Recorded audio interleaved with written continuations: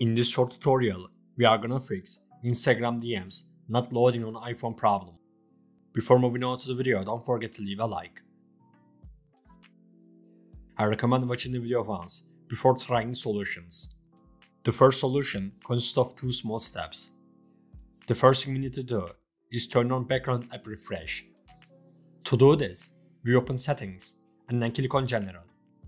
After clicking on general, click on background app refresh.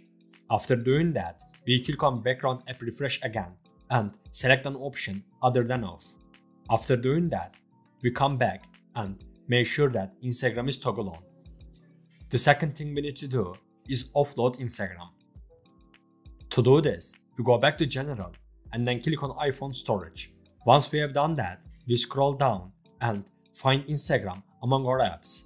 Then we click on offload app. We click offload app again to continue. After doing this, we click reinstall app. This was the first solution. Now, you can check if the problem is solved or not. If the problem is not solved, we will move on to the second solution.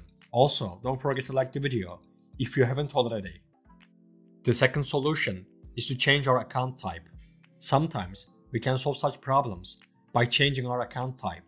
To do this, we open Instagram and then click on our profile. After clicking on our profile, click on the three lines on the top right and open settings and privacy. After opening settings and privacy, we scroll down and find account type and tools. After that, click on switch to professional account. Then we click continue and proceed. We click done. Then we click next and continue. We don't need to make any changes. We click OK and click not now we have changed our account type. Now, you can check if the problem is solved or not. If the problem persists, we will move on to the third solution.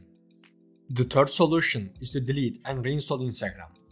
Doing a clean install can solve this problem. To do this, we press and hold Instagram, and then click remove app. Then click delete app, and click delete. We have removed Instagram from our device. We will restart our device before downloading it again. After restarting, we open the App Store and type Instagram in the search bar. After doing this, we install Instagram. We have installed Instagram. Now, you can check if the problem is solved or not. If the first three solutions did not solve your problem, the problem can cause from Instagram. In this case, all we can do is report the problem. To do this, we check our device while Instagram is open after doing this, click Report a problem. Here, you can click Include and continue, but I prefer Don't Include. In this section, we can simply write My DM's not loading. You can also include a screenshot of your DM box not loading. Click Send and continue. We have sent the report. This report may speed up the resolution of the problem. We have come to the end of the video. I hope one of these solutions fixed your problem. If the video helped you, don't forget to like the video. You can also subscribe to my channel to support me. Take care and see you in the next video.